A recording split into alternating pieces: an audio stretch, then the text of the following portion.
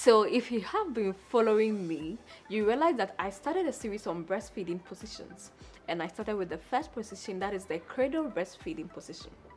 If you've not watched that video, I'm going to leave the link in the description box below so that you have access to it.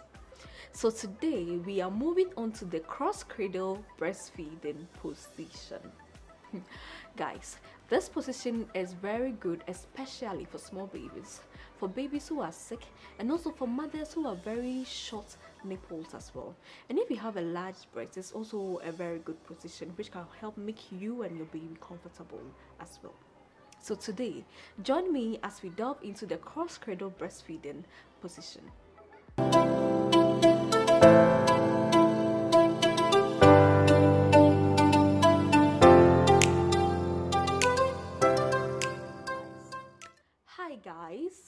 Welcome to Midwife's Diary. My name is Evelyn and I'm a registered midwife.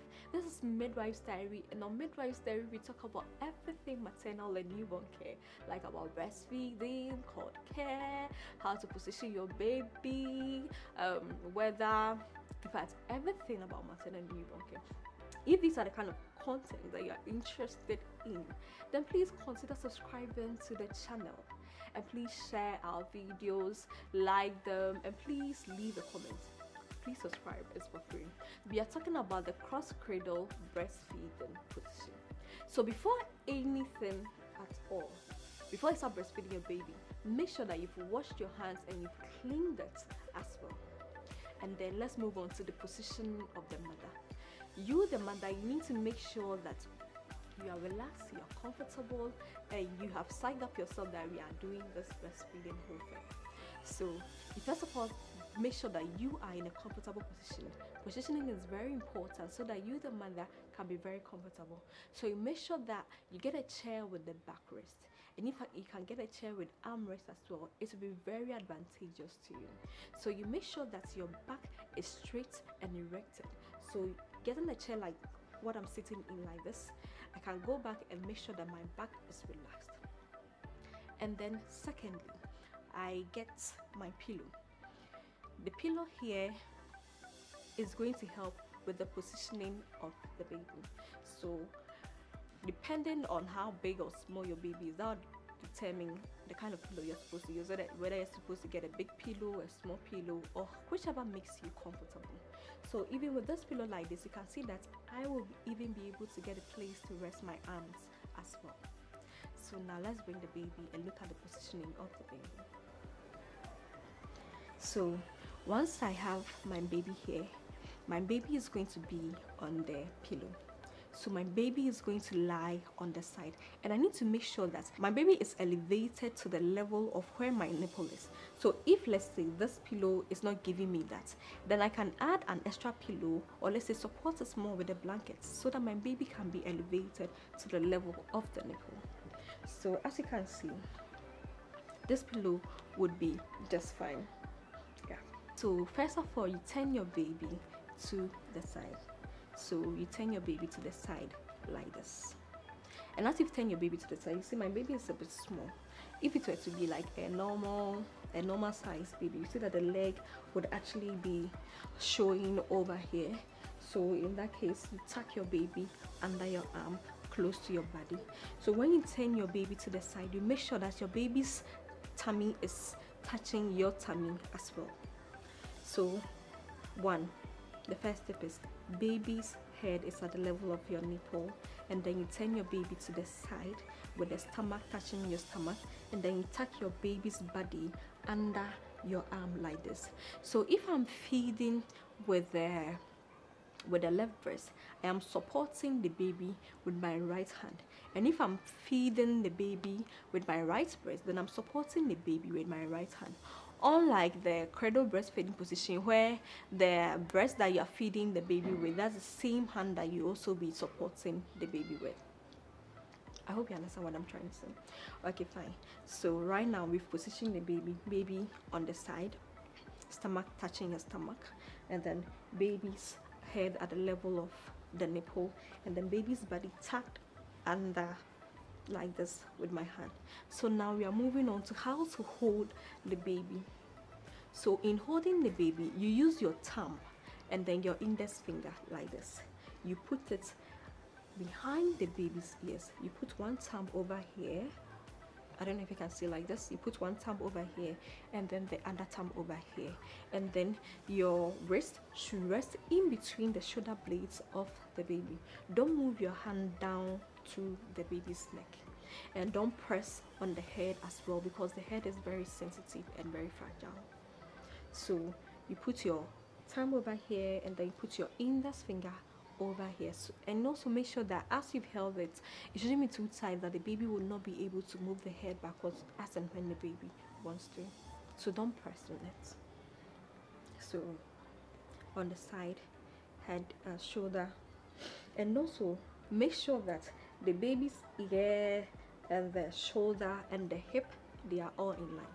You see my baby is small. It's going to be a big disadvantage to me over here but i think it's gonna be fine.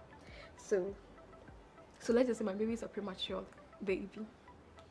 So my thumb is over here and then my index finger is over here and then i'm tucking the body of my baby under my arm like this. So like this. And then over here like this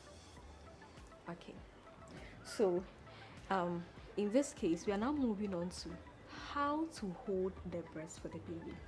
So in holding the breast for the baby you cup your hand in a u shape like this.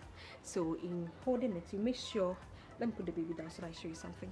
So in this case let's take the the nipple as or let me say the the breast as a clock where the nipple is the middle of the clock. You're using your hand in a u-shaped form where you hold it like at the six sorry at the nine and three o'clock position. So one thumb over here and the other thumb is over there. Make sure that they are two fingers two fingers away from the nipple. Each of them are two fingers away from the nipple. Else if they are too close you'll be nipple feeding your baby where you'll be pressing on just the nipple and your baby will not be able to get enough breast milk into the mouth as well. So make sure that they are at least two fingers away from the nipple. So whilst you're placing your index finger make sure it's two fingers away from the nipple. And whilst you're placing your thumb make sure it's two fingers away from the nipple. And don't make your finger your fingers in a v shape. If you make it in a v shape you also be pressing and then be forcing the milk into the baby's mouth. So in order for your baby to have a very good and a deep latch make sure that your fingers are placed in the u shape around the nipple. So let me do it whilst i'm positioning my baby for you to see. So like this. So baby's head is over here at the level of the nipple and then my position is like this. So this is helping the baby as i'm helping the baby to latch onto the breast. And in helping the baby to latch onto the breast first of all you need to bring the baby's um, nose nostrils to the level of the nipple. This is to help guide the baby's um, uh, the nipple into the baby's mouth. So once it's over there you see that by by reflex your baby will start searching for the nipple herself and then the baby will take will be able to take deeply into the mouth. So as you are guiding you make sure that your baby is not just taking the nipple into the mouth but it's also taking the areola which is the dark area around the nipple into your baby's mouth so that your baby will be able to get sufficient breast milk into the mouth. So as you've been able to help your baby latch deeply onto the breast and your baby is comfortably breastfeeding if the breast is not too heavy you can remove your hand release your hand from this side and then support the bottom of your baby like this.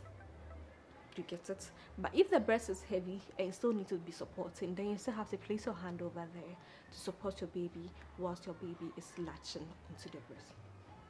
If you see that the breast is covering the nostrils of your baby do not press the breast backward in order to um, take the the breast away from the nostrils of the baby. This is what you do.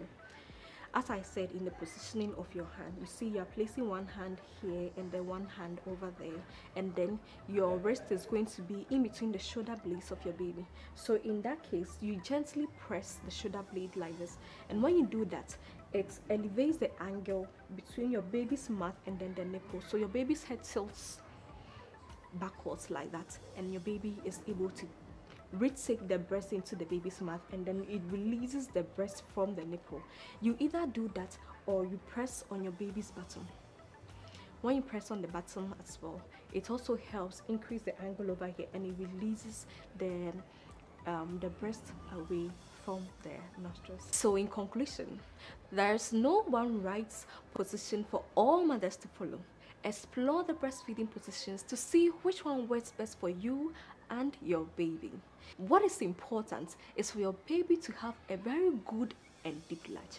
So try exploring these other breastfeeding positions that I'll be talking about so that you and your baby will have a very comfortable experience whilst breastfeeding. Thank you so much for your time. If you learned something from this video, then please consider subscribing to the channel. Leave a comment in the comment section below and give me your feedbacks. And if you've seen any other breastfeeding positions as well, we can discuss it in the comment section below. Please share this video, like it, and please come back next time. See you next week on midwife's diary. As and always we are walking the talk of motherhood.